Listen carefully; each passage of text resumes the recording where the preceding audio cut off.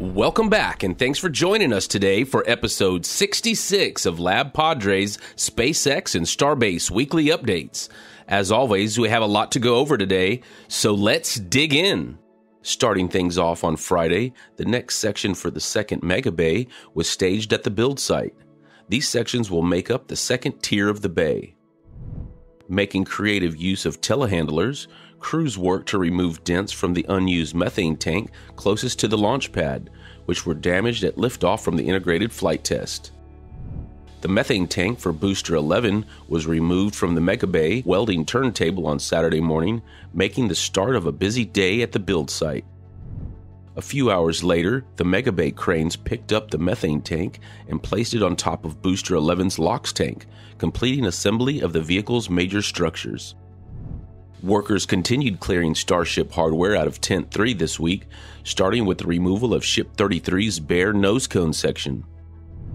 After the welding turntable was freed up and made free for new ring segments, Booster 12's common dome was moved into the Mega Bay. With all of the hardware staged and ready to go, the next section of Booster 12's liquid oxygen tank was stacked. On Monday, the last nose cone was removed from Tent 3. This incomplete nose cone, destined for Starship 34, still needs the internal stringers that support the flaps and header tanks in flight. Late in the evening, a large section of water pipe for the deluge system was delivered to the launch site. Stacking and assembly of Starship 29 was completed on Tuesday evening in the high bay, capping off a somewhat quiet day. Wednesday morning, the new tower elevator was finally installed and operational, ferrying workers between the tower's two major service levels almost two months after the failure of the old elevator. Crews could be seen struggling to place rebar into one of the prepared piling cases, resorting to pushing the cage down with the help of an excavator. Over at the build site, the first pieces of steel were erected, sending construction above ground for the first Star Factory expansion. Crews have been working quickly, and the first pre assembled roof section for the new factory building was lifted into place later that day. A pair of new tank stands was delivered to the launch site.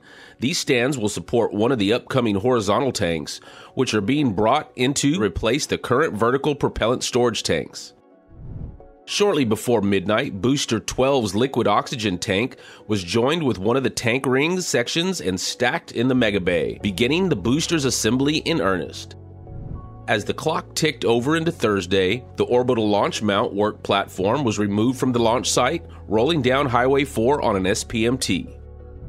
A potent summer storm rolled into Starbase in the morning, kicking up massive blinding swirls of dust before being washed away by the heavy rains that began to fall not long after.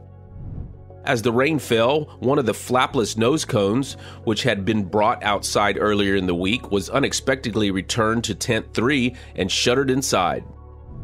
A new vertical storage tank with a large pipe flange at the base and a smaller one at the top arrived at Launch Complex later that morning. With the storms long gone, the second pre assembled roof section was lifted into place on the Star Factory extension, bringing the structure to two thirds of its design width. As the factory work was ongoing, Ship 31's nose cone was also moved back inside Tent 3, and the doors once again closed shut. Mauricio with RGV Aerial Photography performed another Starbase flyover on June 7th, allowing us to get another overhead update on what is happening at SpaceX's facilities. Starting off at the Massey's test range, the concrete for the presumed booster cryo station has now been poured. Interestingly, on the new pad, we see a different layout than we have seen at other booster parking spots, with this new one appearing to have just eight places for the booster stands to be bolted down, unlike the 12 we have seen previously. There's also an interesting metal circle on the ground next to the new pad. Let us know what you think in the comments what this might be. Finally, for Massey's at the tank farm area, the pedestals and foundations for another pair of horizontal storage tanks have now been completed. Moving down Highway 4 to the Sanchez site, steady progress continues with the assembly of the corners for the new Mega Bay. With the first two sections of the second level already at the build site, four sections at Sanchez means that SpaceX is roughly halfway through the pre build of the third level of the new bay. Meanwhile, tarps and umbrellas around the parts of the water cooled steel base for the OLM indicate that crews are still hard at work preparing these pieces for installation. Moving over to the build site at the new Mega Bay, the LR 1300 has been moved out of the center of the building, likely to make room for the LR 11000 when it begins installing the prefabricated corner sections in the near future. On the ground next to the LR 1300's new location, we can see steel for assembling the stairs that will go in the corners of the building. Over at the first phase of the Star Factory expansion, the concrete slab continues to expand and the presumed press pit is looking noticeably cleaned up. Towards Highway 4, the debris from the demolition of Low Bay and the propulsion building has been cleared away, and the neat and deliberate disassembly of the ground fabrication building is progressing steadily.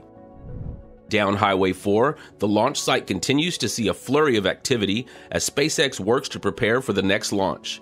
At suborbital pad B, the crane has been disconnected from ship 25 and road closures have started to appear on the county website, indicating that a static fire of the vehicle is likely in the near future, although these road closures have recently been canceled. On the former landing pad, more and more piles are being placed to support additional horizontal storage tanks as SpaceX works to phase out the vertical tank farm.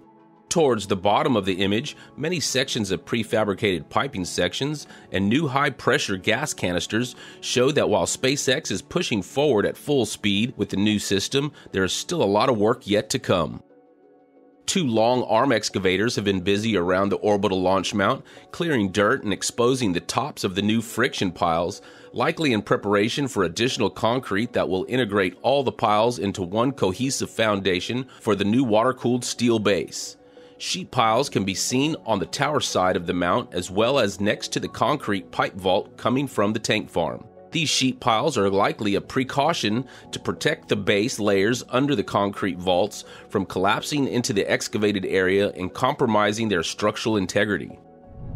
After nine days in space, followed by a successful re entry and splashdown, Dragon capsule Freedom returned to Port Canaveral on Saturday, ending the Axiom 2 mission on board SpaceX's recovery ship Megan. Early on Sunday morning, the crew access arm at Launch Complex 39A was retracted ahead of the launch of CRS 28 to the International Space Station. A short time later, and beating the odds of the forecast, a 15% chance of go, Falcon 9 lifted off from SLC 40, carrying 22 Starlink V2 minis into orbit for the Starlink Group 6 4 mission. After the launch, the crew access arm at LC 39A was extended after CRS 28 was postponed to Monday. Shortly before noon on Monday, Falcon 9 Booster 1077 lifted off on its fifth overall mission, carrying Cargo Dragon into space for the CRS 28 mission to the ISS. Early on Tuesday morning, the transporter erector Strongback was lowered for return to the horizontal integration facility at the end of the road. Making an afternoon return to Port Canaveral, Bob returned with both fairing halves following the Starlink Group 6 4 launch. Not much later, the Crosby Skipper made its own return to port with just read the instructions and Falcon 9 Booster 1078 in tow, having finished their part in the Starlink 6 4. And there you have it, another SpaceX and Starbase weekly update brought to you by Lab Padre. We'll see you next week, and thanks for watching. Lab Padre out.